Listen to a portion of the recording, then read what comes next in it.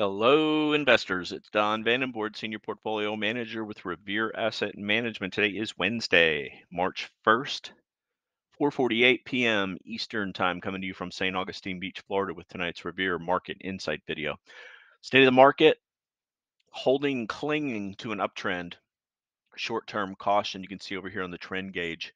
Market leader still holding up okay. We had a couple more break the 21 today uh, namely Five, Net, and AI, and also RVNC, but uh, had, I mean, basically just as many strong double digit gaps up that would be glad to take their place. So leaders rotating, but not breaking down, pulling back. The indexes continue to pull back, but uh, the key area that we're holding, the 200-day moving average on the S&P and the Nasdaq, continues to be uh, a strong area of support. But as we know, the more we bang on support, the weaker it gets. So we really need to get up and off of here. Not sure what the catalyst will be.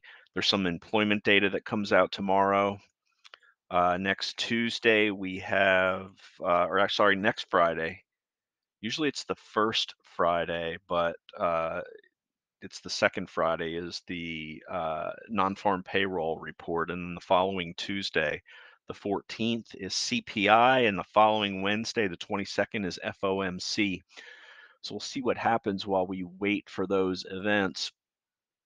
Uh, short term, we are bearish. Sixth close below the 21-day moving average might be the seventh. Uh, we'll see when we get to the FOM uh, to to the FOMC. When we get to the uh, tail of the tape, Medium term weakening also. The yellow arrow sliding to the center has got two closes below the 50-day moving average on the S&P 500. As we said, uh, neutral on the long term. All five indexes above and slightly trying to flatten and continue to curl up. MDY uh, now and obvious if you look at it on the charts, uh, curl higher on the 200-day moving average, but uh, we need a catalyst to jumpstart the market. So what happened today? As I said, second close on the S&P below the 50-day, but both the S&P and the Nasdaq 100 held the 200-day. Uh, mid caps and uh, the Russell were uh, led most of the day, and the Dow uh, positive, getting a, a boost after hours on uh, CRM uh, Salesforce earnings up double digits after hours. So the Dow finally getting a break. Bottom line, G6 barely positive. Actually, five of the six were firmly positive, and ARKK was down as a, a bunch of Cathie Wood's names got uh, slammed today. So uh, that's masking the strength. Actually, S&P down 0.47 percent. Nasdaq 100 down eight tenths. Big cap tech getting hit again as interest rates uh, pierced 4% on the 10 year today. Dow barely positive, mid caps up 0.25%. Russell uh, up a tenth of a percent. Global diversified 60 40 barely negative. In house protection down 0.4%. We will get to uh, the tail of the tape and the charts Let's start off as we always do with the indexes. Uh, you can see here the S&P 500 bouncing off the 200-day moving average again. Let me bring up a 15-minute chart of this. Uh, here we have 3940, which is the 200-day moving average. So you can see it was tested here on the 24th. Uh, that was last Friday.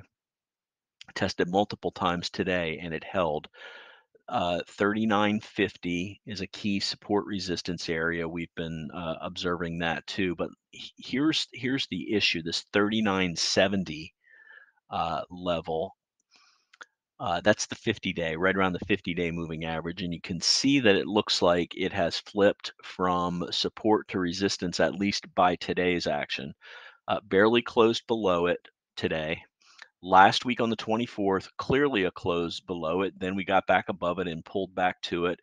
But it was support on the 22nd, support on the 23rd, broke below it, resistance on the 24th, back above, support on the 28th, uh, barely closed below it at the end of the day by a tenth of a percent. And then today acted like resistance every time uh, we got into it. We need to break back above that 3970 area to give the bulls some breathing room. Note on this 15 minute chart, we're oversold coming off. Let's check the 60 minute chart. Very oversold, starting to hook back up. And on the daily chart, getting deeper uh, oversold for about a week now, holding on to this 200 day moving average. Really, what stocks need to do is um, hold right here, go sideways a little bit, try to form a little bit of a base similar to what happened here uh, for this three week period, late December going into January, to build some sort of a launching pad uh, to higher prices. On the other hand, uh, if we break down, uh, then all bets are off. We do have fairly solid support because of this base here down to 37.64, but uh, that's very clearly where the danger picks up, as we know from this chart here, uh, where all bear markets occur. Usually from the top until a break of the 200 day moving average, when you're in an uptrend, is 12%. What it does below that uh, is up to the stocks, but this is what we want to do is protect ourselves. We get back below the 200. We're only 6% off the highs in this case. In fact, 5.8%, uh, judging from the move up uh, off of the lows, and then we've pulled back 5.8% back to uh, the 200 day moving average here. And as I said, uh, oversold across all of the indexes. Here's the NASDAQ 100 oversold, holding the 200 day moving average. Dow uh, Jones Industrial Average uh, close to the 200 day moving average today, put in a hammer. Uh, very oversold. As I said, it's going to get a bounce tomorrow as long as this CRM uh, holds on. Midcaps MDY uh, holding fine needs to get just uh, trickling ever so slightly lower along the declining 21 day moving average. So uh, break of this downtrend line and move above the 21 and the 8 is what we want to see. And again, we're oversold there as we are on small cap. So all five indexes consistently selling off. You can see the downtrend line here. And again, the 21 acting as resistance uh, oversold here, but well above the 50, well above the 200 day moving average. Uh, RSP, which is the equal cap S&P 500, uh, outperformed the uh, uh, the market cap weighted S&P. And you can see it's showing it, it's got a, it showed relative strength back here for a while late last year. Really, it started in August when the big sell off happened with the big cap Nasdaq stocks that also impact the top of the S&P 500, then you can see its relative strength has been waning uh, on January while the big caps uh, had their revenge now kind of going sideways, but 2.9% uh, above the 200-day moving average also uh, oversold here. So this would could very possibly be uh, quicker uh, to regain these short-term moving averages, but it does have a bigger buffer down to the 200. Let's quickly look at the QQ uh, EW, which is the NASDAQ 100 equal weight. Uh, also, uh, much better than the NASDAQ 100. It's above the 50-day moving average. Uh, which is above the 200 day moving average, as opposed to the NASDAQ 100, where the 50 is still below the 200 day moving average because of that massive outperformance. It hasn't worked that off yet. What else we want to look at? How about the dollar? Stocks got uh, could have gotten a boost from the dollar today. Note the dollar uh, coming off right on the ADMA, hooking down from uh, overbought.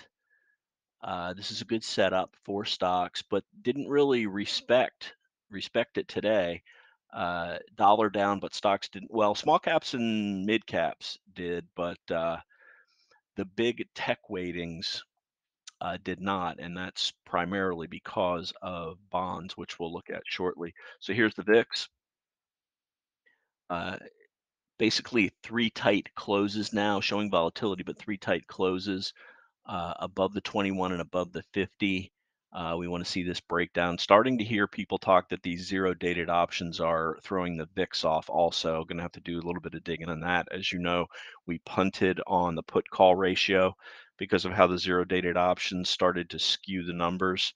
Um, Hope we don't have to do it on the VIX, but we are uh, looking into that.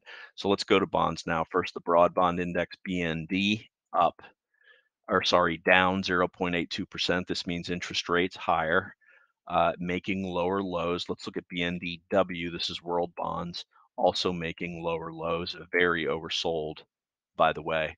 Uh, let's look at junk bonds also down. Note how they're not making lower lows. These move more uh, in line with uh, with stocks, but uh, not making lower lows, meaning there's not really real concern about a credit event uh, happening. LQD corporates making lower lows, and TLT, the long-term Treasury, uh, also close to making lower lows. It bounced off this 100 area today for the second time. When it did, we took our profits in TBT, which goes up as rates go up. Uh, still above the ADMA, but we had a nice gain and an especially nice gain relative to what the indexes were doing during that period of time. It is showing relative strength. Uh, we might have an opportunity to re-enter this if rates look like they want to break through and go higher. So let's look at rates right now. Here's the uh, 10 year.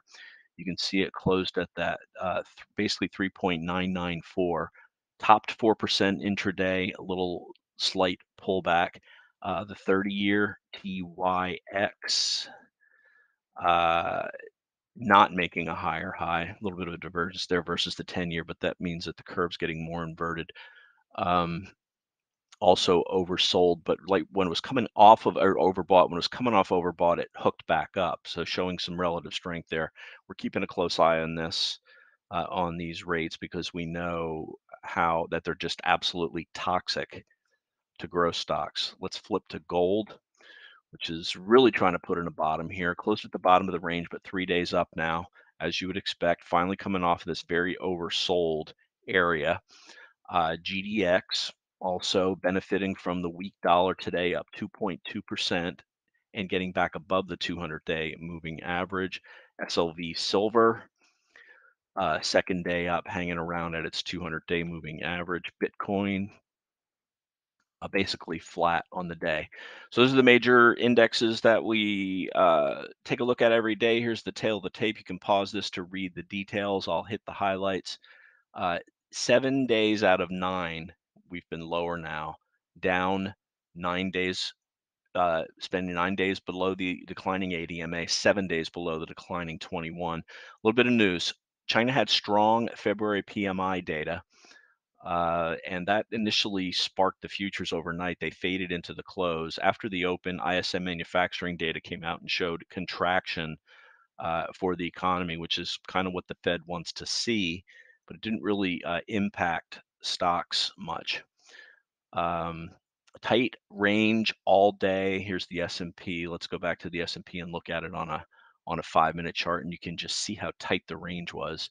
Uh, this it, you can't really tell from this. This looks pretty choppy, but from 39.39 to 39.68 is uh, 29 points, uh, which is less, less. I mean, much less than a percent. Looks like it's more volatile, but uh, a tight range, but probably about the same range that we had uh, the prior day, 70 to 97. So yeah, we're really tightening up, which means we're coiling for some sort of a move, uh, one way or the other. Is it going to be a breakdown, or is it going to be a break back above uh, this tight area that we've been uh, coiling in from 39.43 to 40.28 for one, two, three, four, five, six days now?